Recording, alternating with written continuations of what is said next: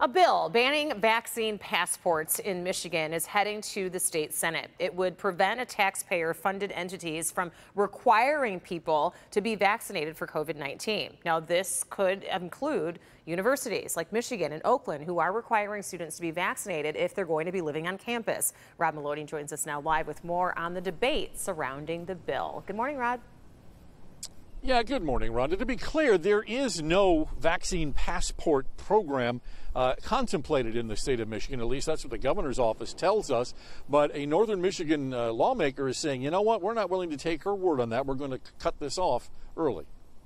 40% of Michiganders opted out of vaccinations. The question of whether someone's vaccinated is an issue bubbling under the surface, especially when the governor asked those not vaccinated to wear a mask. And the Michigan House decided the concept shouldn't even make it out of the barn. Republican State Representative Sue Allor of Wolverine sponsored House Bill 4667, which would ban vaccine passports or any other system where individual civil rights are diminished by their COVID 19 vaccination status. She said in a floor speech yesterday the control of one's life based on his or her vaccination status is frightening. It is not something that we, as United States citizens, should even consider as acceptable. I cannot imagine there ever being a time when a program such as this would be a good idea.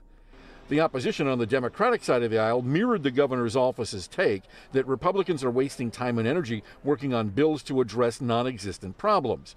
Democrat State Representative Julie Rogers of Kalamazoo said in another floor speech that instead of worrying about phantom bills that don't exist, this body should be focusing on bringing home all of the federal COVID dollars to Michigan.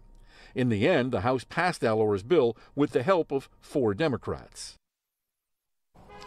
So now it's off to the Senate. Now, usually when the House passes something, it has to have a waiting period of about three days. So it's not on the Senate agenda today. It's likely to show up uh, sometime next week.